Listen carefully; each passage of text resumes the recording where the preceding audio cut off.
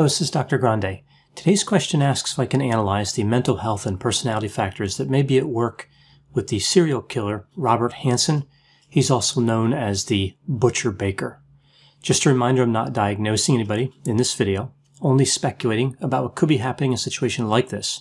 If you enjoy this video, please like it, subscribe to my channel, and consider supporting me on Patreon. I'll put the link to Patreon in the description for this video. So I'll start here with the background of Robert Hansen, move to the timeline of the crimes, and then look at the mental health and personality factors. So starting with the background, Robert Hansen was born on February 15, 1939 in Estherville, Iowa. Hansen's father was overbearing and aggressive, and his mother was submissive. Hansen worked in a family-owned bakery for long hours, even as a child. In school, Hansen had difficulties. He was thin, he had a stutter, was shy, had severe acne, and was referred to as a loner. He was born left-handed, but he was forced to use his right hand. There's this theory that when this happens, it can lead to stuttering, but the scientific evidence really doesn't support that. Most researchers think it's a bad idea to force a left-handed child to be right-handed, but there's no evidence that it causes any type of speech pathology. Many of the girls he went to school with mocked him and ignored him, which led him to develop a lot of resentment and anger toward them. Hansen felt powerless, inadequate, and alone. He started developing fantasies about harming females. This is extremely common for serial killers. They are rejected by females and they want to make them pay for that rejection. Hansen spent a good deal of time when he was young hunting, fishing. He was also into archery. Hansen enlisted in the United States Army Reserve in 1957, the same year he graduated from high school. He was there about a year before being discharged. Not long after that, he would work as a drill instructor at a police academy. So we see an interest in police work, which has also been associated with serial killing. When he was there, he started dating a woman who was a few years younger than him. The two would marry in 1960.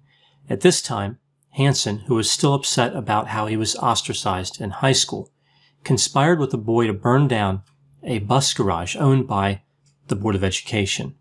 The boy was arrested and implicated Hansen, who was arrested for this offense on December 7, 1960. He would be convicted and served 20 months in prison, even though he was sentenced to 36 months. When he was in prison, his wife filed for divorce. Hansen would be arrested several more times for stealing, although he was not charged. Later, he reported that stealing was arousing to him. He married again in 1963. The couple had two children. They moved to Anchorage, Alaska in 1967. For a while, it seemed as though things were really working out for Hansen. He got along well with his neighbors. He was active in hunting, which is a popular activity in Anchorage. But then we see in 1971, Hansen is arrested again. There were charges for an assault of a sexual nature against a prostitute. When I use the word assault in this video from here on out, I'm talking about that type of assault. Hansen also had charges for an attempted assault against a housewife. He would end up pleading no contest to two felonies and was sentenced to five years. Amazingly, he was put on work release after only six months. Hansen would get in trouble again in the mid 1970s. He stole a chainsaw from a department store. He pleaded guilty to larceny and was sentenced to five years in prison and mandated to receive mental health treatment. He was released after the Alaska Supreme Court overturned his sentence, calling it too harsh. He used money from a 1981 insurance fraud to start a bakery. He said that his residence was burglarized and trophies were stolen. When the fraud was discovered, he said that he mysteriously found all the trophies in his backyard and just forgot to tell the insurance company. Now, around the same time, he bought a Piper Super Cub. This is a single engine airplane. Hansen did not have a pilot's license for it, though, but this is fairly common in Alaska, especially at that time. Now moving to the timeline of serial homicide. So looking at his background, we were up to 1982, but it's believed that Hansen actually started his career as a serial killer sometime in 1971 or 1972. The exact time isn't known. Other theories say it was a little bit later than that. His crimes followed a particular pattern. He would pick up a prostitute in his automobile, take her to his cabin, and assault her. Sometimes he would let her go. If he was convinced that she was not going to tell the police and she did not fight him, that was a possibility. Other times he would use his airplane to take the victim to a secluded area. Once there, he would let the victim loose and hunt her down, often taking his time. There was no rush because there was really nowhere to go and no one around. When he would catch up with her, he committed homicide by shooting her or stabbing her. One of his weapons was a Ruger Mini 14, which is a rifle chambered in 223 caliber. His victims were between 16 and 41 years old. Many, but not all, were prostitutes. It is believed that Hansen killed at least 17 women. Many of the people he is suspected of killing have never been found, and one of the victims who was found was never identified. Based on the dates that victims or suspected victims went missing, it appears as though Hansen killed two or three victims in the 70s and the remaining victims in the 80s. In June of 1983, Hansen picked up a 17 year old prostitute named Cindy Paulson. He drove her to his residence located outside of Anchorage, Alaska. He assaulted her, tortured her, and chained her by the neck to a post in his basement. He then put her in his car and drove her to a local airport. She was in the back seat of that car with her wrists handcuffed in front of her when Hansen went to load the aircraft. She took this opportunity to crawl over to the driver's side door, open it, and run away. Hansen chased her, but she managed to flag down a passing truck. The truck driver picked her up and took her to an establishment called the Mush Inn. She went inside and asked a clerk to call her boyfriend, who worked at another establishment called the Big Timber Motel. She then took a cab to that motel. This is where the police eventually found her, still wearing the handcuffs. She described the incident to the police, and they questioned Robert Hansen. Hansen said that Paulson had tried to extort him, and when he did not meet her demand, she accused him of these crimes. So he did admit to knowing her, but Hansen also had an alibi from a few of his friends. The police didn't believe Hansen was a good suspect. The detectives looking into the case were Alaska State Troopers. They contacted the FBI to provide them a potential personality profile of the killer. The FBI returned the standard serial killer profile slightly modified for the specific circumstances of this case. The profile said that the killer had low self-esteem, had been rejected by women, would keep souvenirs, would be an experienced hunter, and may have a stutter. Now, every part of this profile, except for the stutter and experienced hunter part, were fairly obvious based on what we know about serial killers. There's nothing really earth shattering about that particular profile. The other two items would come from knowing who Robert Hansen was. The police already knew who he was at that time, and they could have explained that to the FBI. So the profile didn't really add any value, but it was used along with Cindy Paulson's report to get a search warrant. The police questioned the alibi witnesses as well. They retracted their previous statements. At this point, the police used the search warrant to search Hansen's residence, aircraft, and automobile. They found firearms that matched the type of weapons used in the murders, jewelry that was believed to have belonged to a few of the missing women, and a map with markings on it, like little X marks. Several of the marks matched locations where bodies had been recovered. Hansen eventually confessed when presented with the incriminating evidence. Hansen was charged with a variety of crimes, including kidnapping, theft, and insurance fraud. He would plead guilty in 1984 to the four murders for which police had enough evidence to charge him. As part of his plea bargain, he would have to help the police locate the bodies of other victims. In exchange, he was allowed to serve his sentence in a federal prison. He would eventually lead them to 17 grave sites. There were a few marks on the map for which he would not provide information, so it's really not known what was going on there, but they didn't bring him back to court. They didn't say he violated the plea bargain. They just let that go. Hansen received a sentence of 461 years plus life in prison without the possibility of parole. Robert Hansen would die of natural causes on August 21, 2014, at age 75. Now moving to the mental health and personality factors. First, I'll look at the potential personality profile for Robert Hansen. When I conceptualize personality, I use the five factor model. I remember the big five traits through the acronym OCEAN openness to experience, conscientiousness, extroversion, agreeableness, and neuroticism. So, as far as openness to experience, we see a high level. Hansen was intellectually curious, creative, and adventurous. We see mid to low conscientiousness, so pointing toward the high side, He worked as a baker and he hunted. Now, hunting takes a lot of patience. On the low side, we see the murder and stealing. We see mid to high extroversion. On the high side, we see he was friendly and outgoing as well as sensation seeking. On the low side, he had few positive emotions. As far as agreeableness, we see a low level. He was not trusting of other people and had no empathy. And then for neuroticism, we see a mid to high level. So on the high side, he was angry, he could not resist temptation, and he was depressed. On the low side, he was not vulnerable. So he was able to stay calm in extremely stressful situations. Now looking at possible mental disorders, Hansen was diagnosed with bipolar disorder with periodic schizophrenic episodes. Back then, bipolar disorder was called manic depression. This diagnosis was given after he stole that chainsaw. Now, interestingly, bipolar disorder with periodic schizophrenic episodes is not actually a real diagnosis. Bipolar disorder is a real diagnosis, and schizophrenia is a real diagnosis, but there is no such thing as the diagnosis he received.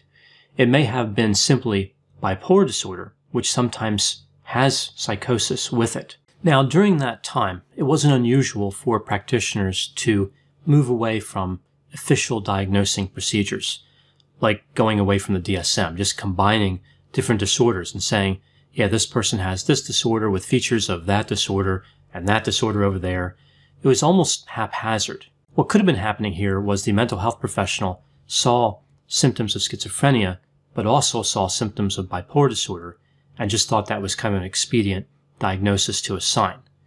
If Hansen did have disorganized thinking and negative symptoms, I can see where somebody might guess schizophrenia because those symptoms tend to be specific to schizophrenia, meaning there aren't many other disorders that would have those particular symptoms. But if he was having delusions and hallucinations, those are less specific. They could be related to many different disorders, including bipolar disorder, as I mentioned.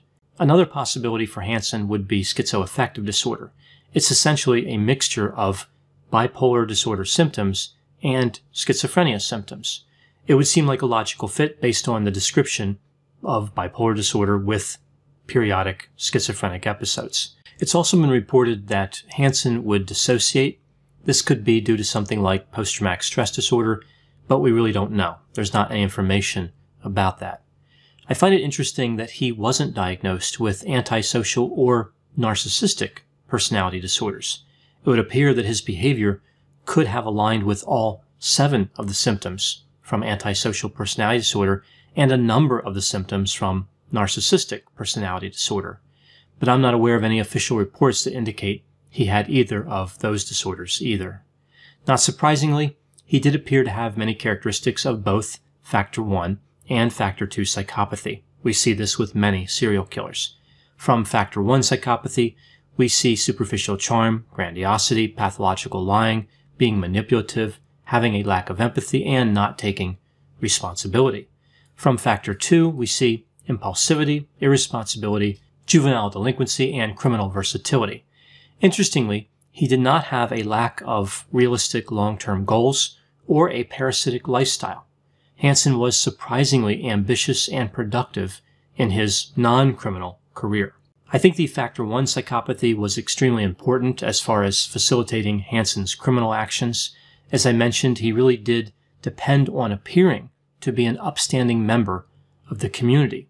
Even when the police realized he was a felon, they still didn't think he did it, initially at least. They implied that he simply didn't look like a serial killer. I'm not exactly sure what that means. Do serial killers have a certain look, like they have a secret handshake or wear a special jacket? I think what it was specifically was that he was mild mannered, small, and thin. So, from the point of view of the police, he just didn't look capable of being someone who could commit homicide. It's amazing that the police didn't take Cindy Paulson's accusations more seriously, even though she was in a less than reputable career. Hansen specifically selected the victims he did because he knew that their statements would not be believed and no one would notice they were missing. He was largely correct. Another important factor that contributed to Hansen's prolific criminal career was the Trans-Alaska oil pipeline. In the mid-1970s, we see the construction starts. A number of people move to certain cities in Alaska. Anchorage was one of those cities. There was kind of a boomtown effect that occurred. There were a lot of people there who were not regular residents of Alaska. They moved in from somewhere else just to work on the pipeline. And people went missing on a regular basis. There was a lot of drinking and, of course, prostitution. So really it was the perfect area for a serial killer to start their criminal career. Hansen's wife and two children did not know that he was a serial killer. They were surprised when he was arrested. Interestingly, his wife said that she knew he was up to no good, but she said that she thought he was just picking up prostitutes in the middle of the night before he went to work at the bakery. Why would any spouse be concerned about that behavior? This is like if a homeowner was standing outside their home and the house was on fire and a firefighter came up and said, Hey, your house is on fire. And they said, No, it's just billowing smoke and glowing orange. Stop being so dramatic. There's nothing going on here. I mean, it's amazing what some people will put up with in a relationship. And that's not even close to the worst I've heard in my career. Now, to be fair to Hansen's wife, many men engage in that behavior and few are serial killers. So that behavior doesn't mean that he was definitely a serial killer, but it is behavior that probably should be explored in some type of therapeutic setting, right? Maybe marriage counseling or something. It's not healthy. Now, his wife also believed that he would become a better Christian someday. So it sounds like she knew that he wasn't behaving appropriately for someone who's married, but she really had hope for the future. Things were going to turn around. He was going to improve. So maybe she was just kind of sticking things out with the hope that that would happen. Another interesting attribute of Hansen was where he was in terms of his development as a serial killer when he was arrested. Many serial killers move from theft to assault, then to murder. James DeAngelo, the Golden State Killer, is a good example of this progression. Hansen did murder at least 17 people. There were 24 marks on his map, so really, it's reasonable to believe he may have killed 24 people, if not more. But he committed over 30 assaults as well. So it's not clear if he had really progressed totally out of the assault stage and fully into the murder stage. It's like he was perhaps about halfway in between when he was arrested. Most of the time when he abducted a victim, he was open to assault and open to letting her go, as well as open to assault and then murder. If he had not been arrested when he was, he probably would have moved exclusively to assault, then murder. If he kept releasing women, eventually some of them might get together and notify the police. Hansen was a classic domination killer. He was also organized. He had a severe resentment toward women. This developed into an intense hatred.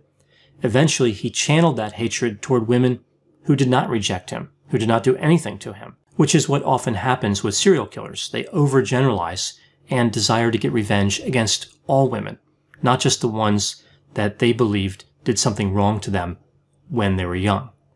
Interestingly, it's been reported that Hansen believed he was falling in love with the women until they offered to have sex with him, and then he thought of them as undesirable and evil. Therefore, he could justify killing them. It's like he was reliving a fantasy from his youth, where women would accept him and want to be with him, and he would love them back, but then that was shattered, and he went back to being aggressive. We see with Robert Hansen a frightening combination of extroversion, aggressiveness, hatred, and superficial charm let loose in an area where he could easily find victims and kill with impunity. This case really does seem to connect with that idea of a perfect storm. Those are my thoughts on Robert Hansen. Please put any opinions and thoughts in the comment section. They always generate an interesting dialogue. As always, I hope you found my analysis of this topic to be interesting. Thanks for watching.